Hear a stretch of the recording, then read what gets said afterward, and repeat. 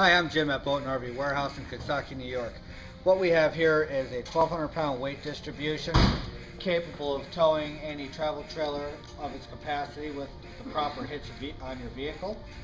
Friction sway control. This, the weight distribution operates basically, you hook that receiver up to your vehicle, mount the head, get your trunnion bars, which just come right out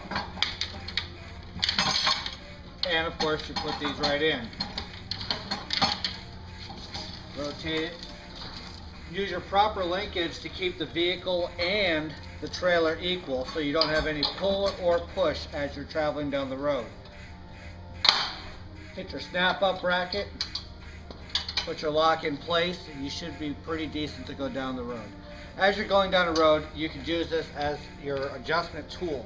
If you have too much sway, you tighten up the sway control. If it does not have too much weight, you can always back it off a little bit.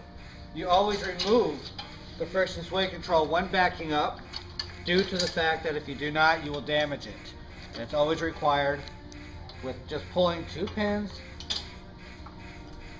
and it comes right off. Pop it back on, put your pin back in place, and you should be good to go. We also have your typical electric tongue jack.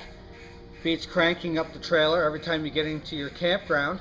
It's always a pain to sit there and crank for a good 20 minutes or so to get it actually equal. So all you gotta do is push a button which will lower and raise the front of your trailer to its level point. Uh, easy installation. Ground itself out on the trailer. Hook up your battery wire to your positive side and you're good to go.